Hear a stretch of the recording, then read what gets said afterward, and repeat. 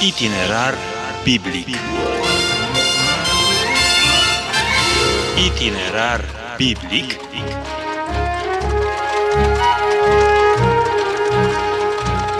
Itinerar biblic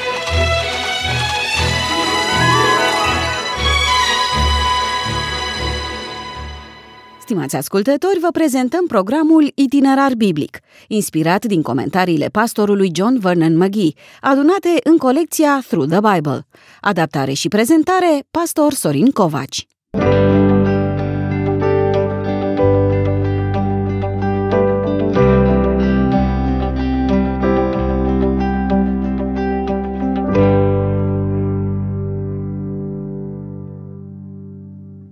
Dragi prieteni, ne apropiem, iată, de relatarea ultimelor evenimente legate de viața Domnului Isus aici pe pământ.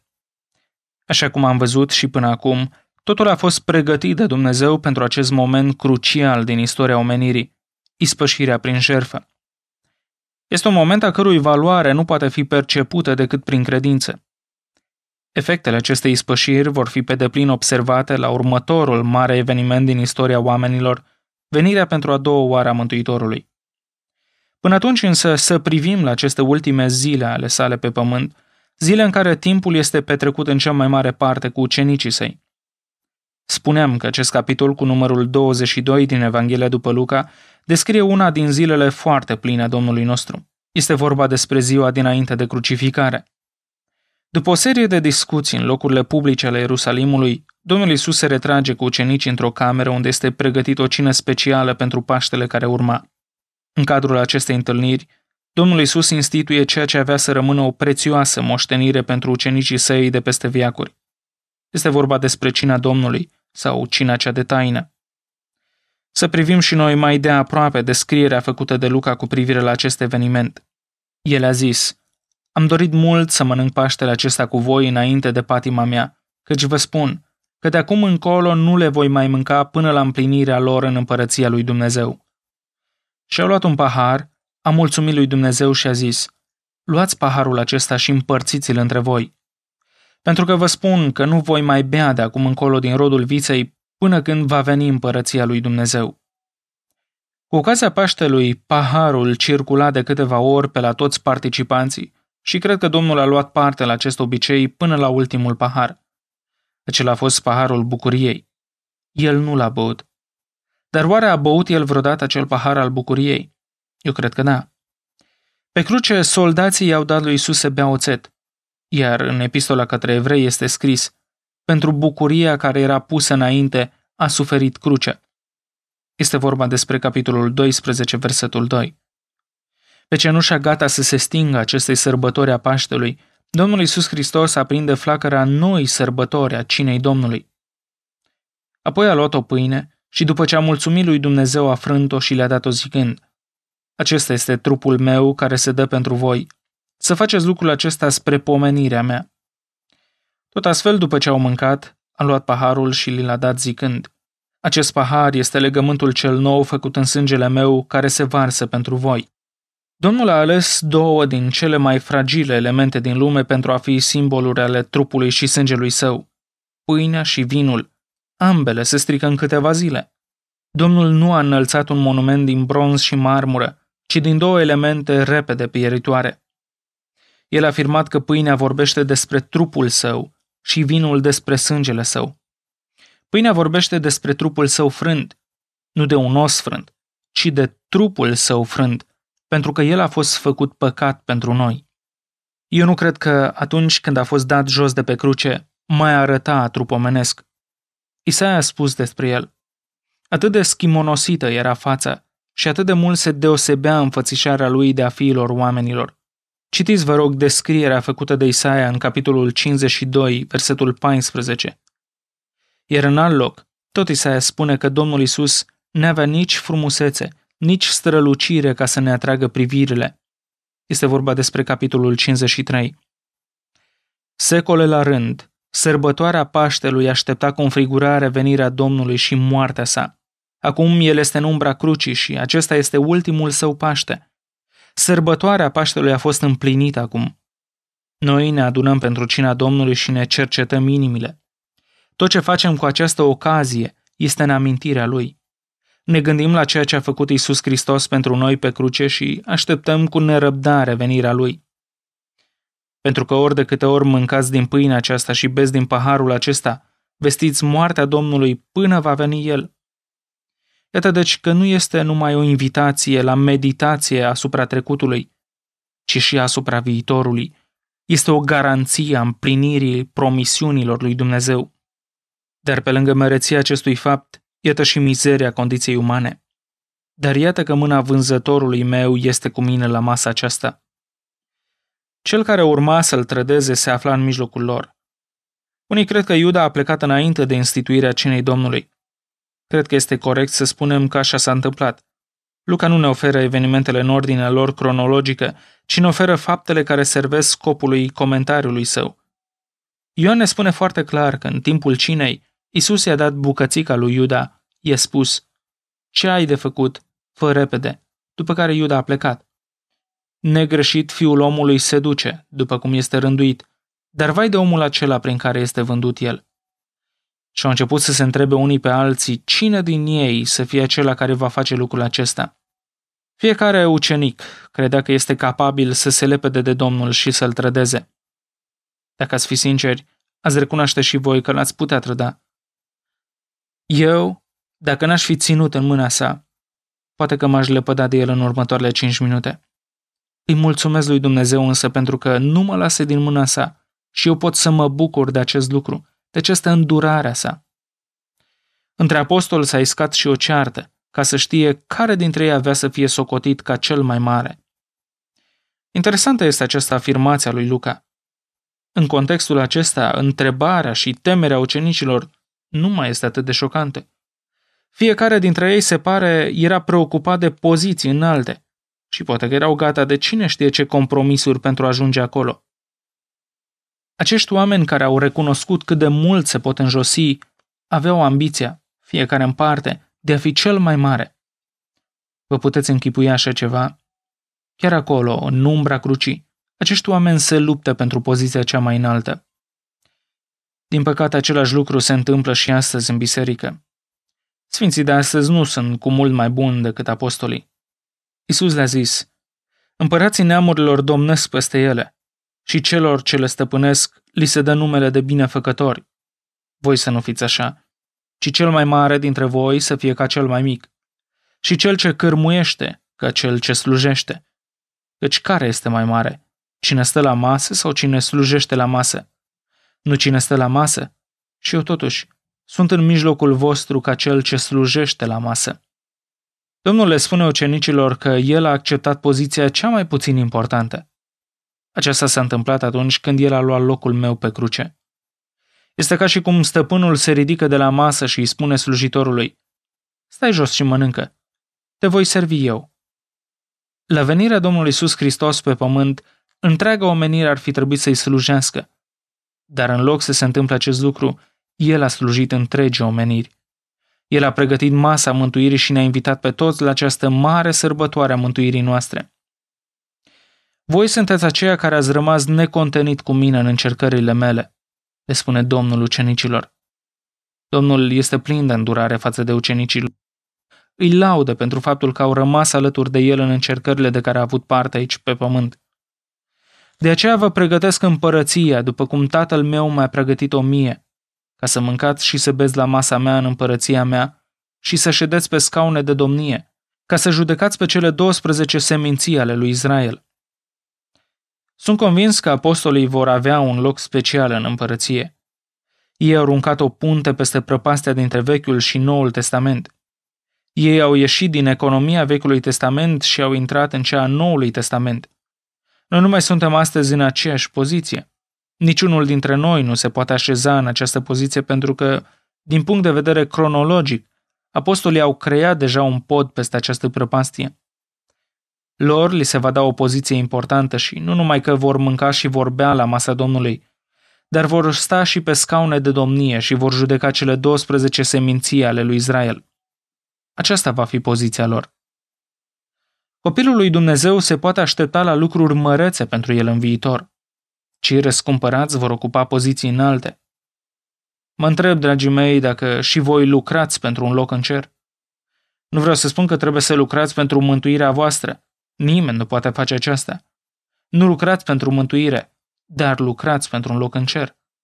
Voi mergeți în cer prin harul lui Dumnezeu, dar veți fi judecați după faptele voastre pentru a vi se va da o poziție anume.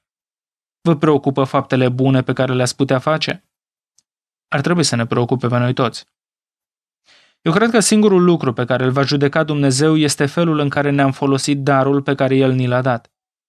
El ne dă un dar în momentul în care ne așează în trupul celor credincioși când suntem mântuiți. Și să știți că există mii de daruri. Subiectul darurilor este foarte interesant. Știți care era unul din daruri în biserica primară? Noul Testament ne vorbește despre o femeie pe nume Dorca, care nu predica sau nu avea cine știe ce însușiri speciale. Ea cosea haine. Acesta era darul ei. Ea făcea haine pentru văduvele care altfel nu ar fi avut ce îmbrăca. Voi veți fi răsplătiți, dragii mei, în conformitate cu credincioșia manifestată în folosirea darului încredințat. Dragi prieteni, modul în care vă trăiți viața de creștini este foarte important înaintea lui Dumnezeu. Domnul a zis, Simone, Simone, satana v-a cerut să vă cearnă ca grâul, dar eu m-am rugat pentru tine ca să nu se piardă credința ta. Și după ce te vei întoarce la Dumnezeu, să întărești pe frații tăi. Domnul vorbește acum despre momentul în care va avea loc o schimbare a inimii și a gândirii lui Petru, când credința lui avea să fie întărită. Schimbarea urma să fie atât de mare încât el îi va putea întări și pe frații săi. Domnul Isus, vedeți, știa că Petru se va lepăda de el. Cu toate acestea, el s-a rugat pentru Petru ca să nu-i se piardă credința. Astăzi, Domnul Isus este mijlocitorul nostru. El știe când vă îndreptați spre locul eșecului și al împiedicării. Dacă sunteți ai lui, dragi prieteni, el s-a rugat deja să nu vi se piardă credința. Poate că nu veți face ce vă cere Dumnezeu, dar dacă sunteți ai lui, credința voastră nu se va pierde. Și nu se va pierde pentru că El s-a rugat pentru voi. Aceasta este una din ipostazele dragostei lui Dumnezeu. În Evanghelia după Ioan, în capitolul 17, găsim rugăciunea Domnului Iisus Hristos din Ghețimani. În versetul 9 găsim Pentru ei mă rog, nu mă rog pentru lume, ci pentru aceea pe care mi-ai dat tu, pentru că sunt ai tăi. Domnul nu se roagă pentru lume. El a murit pentru lume și nu-i puteți cere nimic mai mult. Isus a murit pentru lume, dar se roagă pentru ai săi, pentru ca să fie păziți cât timp mai sunt în lume. Domnul Isus Hristos s-a rugat pentru tine chiar astăzi. Chiar dacă tu nu te-ai rugat pentru tine însuți, El a făcut-o deja. Ulterior, Petru a fost în măsură să încurajeze pe frații săi. Vedeți, omul încercat este omul care poate să-i ajute cu adevărat pe alții, chiar dacă a eșuat în ce avea de făcut și a venit din nou la Dumnezeu. Acesta este motivul pentru care întotdeauna, de exemplu, trimit un alcoolic convertit să vorbească unui alcoolic. Cândva am încercat să-i vorbesc unui alcoolic și să-l ajut, dar el m-a bătut cu îngăduință pe genunchi și mi-a spus, ești un băiat bun. El n-a crezut că eu pot înțelege ce se întâmplă cu el și avea dreptate. Nu înțelegeam.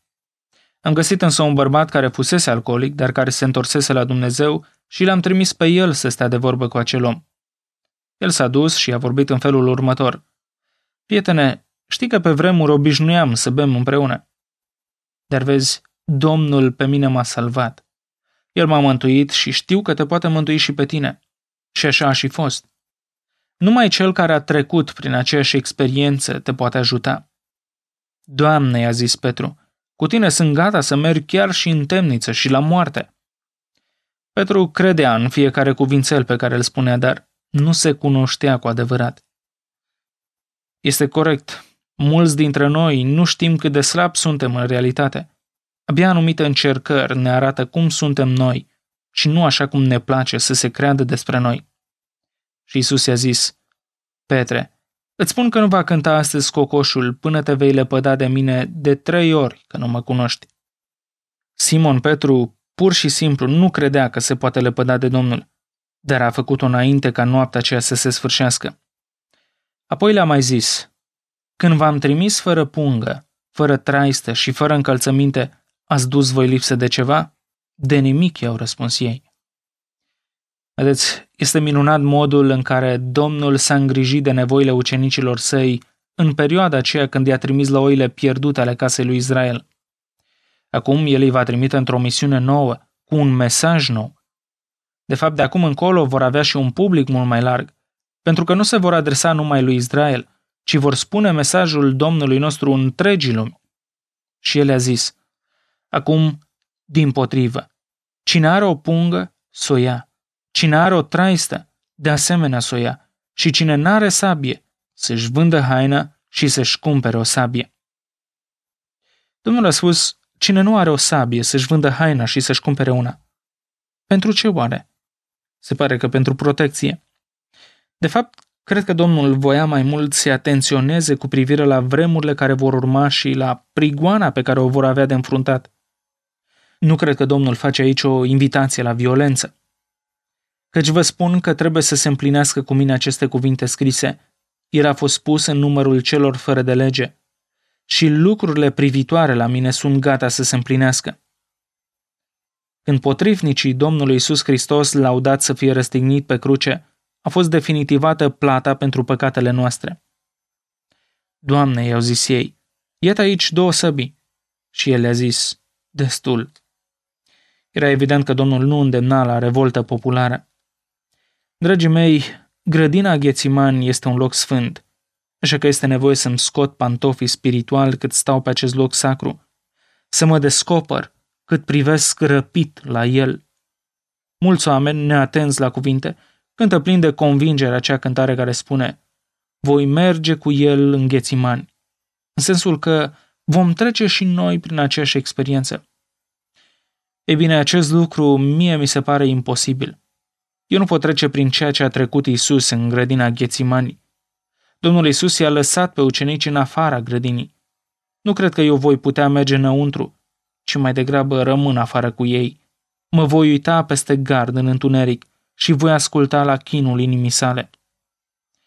Dacă inima noastră este sensibilă, ar trebui să-i mulțumim lui Dumnezeu pentru acela care a dus la buze paharul suferinței și nefericirii noastre și a sorbit și ultima picătură din el. Noi nu putem pătrunde întunericul din grădină, dar putem înțelege mai bine semnificația paharului pe care Isus l-a dat ucenicilor săi în odaia de sus. Paharul pe care l-am gustat eu a fost dulce, oriunde m-aș fi aflat. Domnul Isus a băut cupa amarului pentru ca paharul meu să fie dulce. În grădina Ghețimani sunt prezentate misterul și profunzimea, nu ambiguitatea și nici obscuritatea.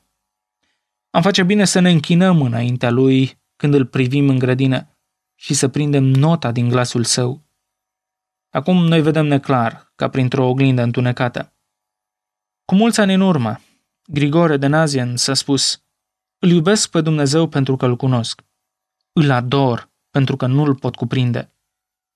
Așadar, mă închin în grădina Ghețiman și nu încerc să capăt toate răspunsurile. După ce a ieșit afară, s-a dus ca de obicei în muntele măslinilor. Ucenicii lui au mers după el.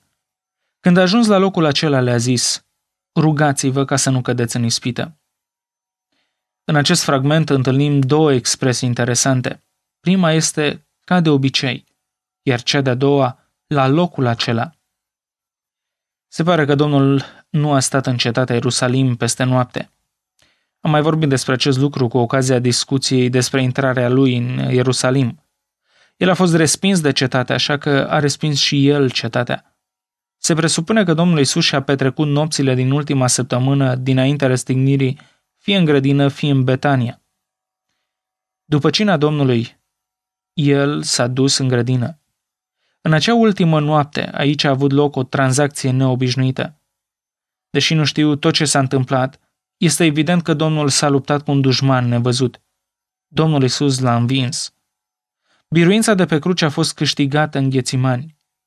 La începutul lucrării lui Isus, Satan a venit și l-a ispitit. Satan i-a oferit Domnului toate împărățiile lumii cu singura condiție, să-i se închină lui. Dar în felul acesta nu ar mai fi ajuns pe cruce. Doctorul Luca ne spune că Satan s-a depărtat de Isus pentru o vreme. Când s-a întors, presupun că Satan s-a întors de mai multe ori, dar a depus un efort cu totul special la începutul lucrării Domnului Isus, când încerca să-l facă să evite crucea. Și acum, la sfârșitul lucrării Domnului, vine cu aceeași ispită.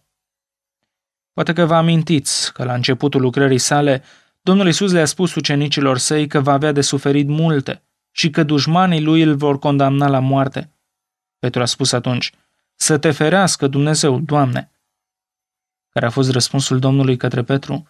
Domnul a spus, înapoi a mea, satano, tu ești o pricină de potignire pentru mine.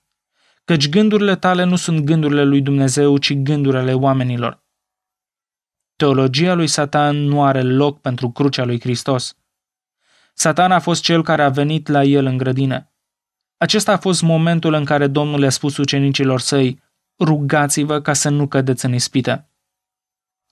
Apoi s-a depărtat de ei ca la o runcătură de piatră, a îngenunchiat și a început să se roage.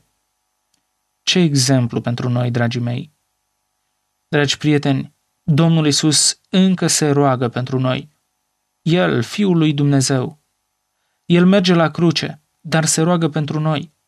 Nu este acesta un semn al dragostei sale? El nu se roagă pentru sine, pentru că nici pe cruce nu merge pentru el. Pentru noi a făcut-o. Ce facem noi, dragii mei? Ne rugăm și noi? El a mers la cruce pentru noi. Ne rugăm noi măcar pentru noi înșine.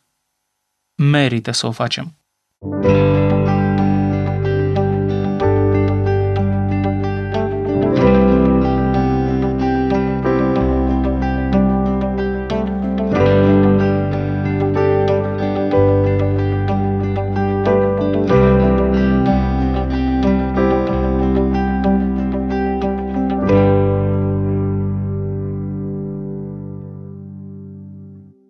Aici se încheie episodul produs și pus la dispoziție de Transworld Radio România.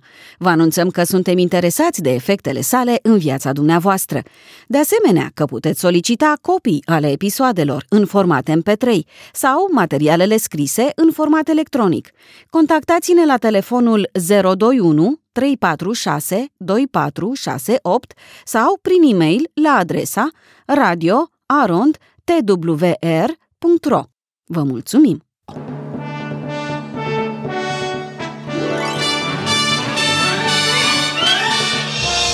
Itinerar biblic. Itinerar biblic.